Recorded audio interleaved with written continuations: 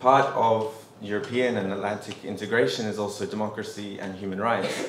And just a few weeks ago, an investigation from an independent Ukrainian media, Bihus.Info, said that they were being followed and surveilled by the security service of Ukraine. How did you react to this personally, and can you guarantee Ukraine's Western partners that this won't happen in the future?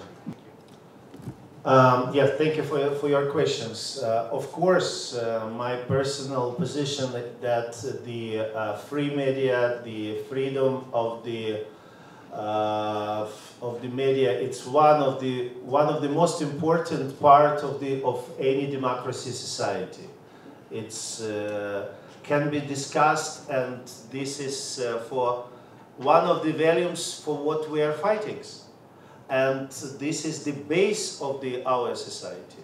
And uh, I'm sure you see and listen the very clear and very uh, strong uh, statements of the President Zelensky about it. And we can see the, the statements of the security service and some concrete steps uh, which was as a result of the situation uh, which you mentioned.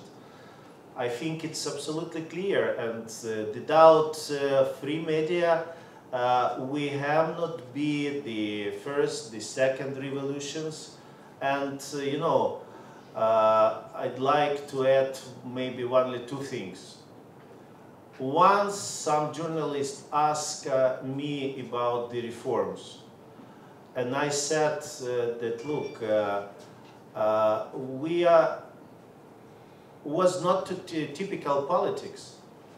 And the president, first of all, Zelensky, decided to go to the politics because be a very successful uh, uh, businessman.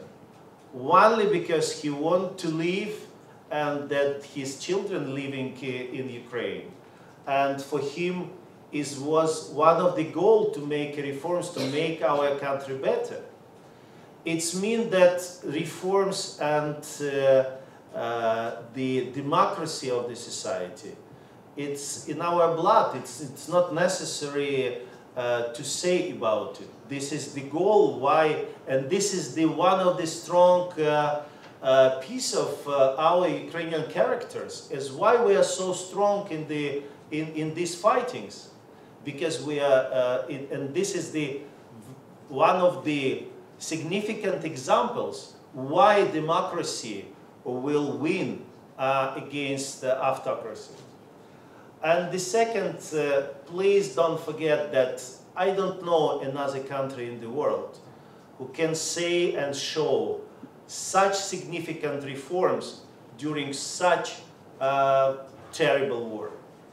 And we're very proud, all of uh, uh, we Ukrainians very proud that we are so strong that we are fighting and continue to make so important reforms. And our European colleagues uh, confirmed it as why we received the candidate status and now open the negotiations. Thank you.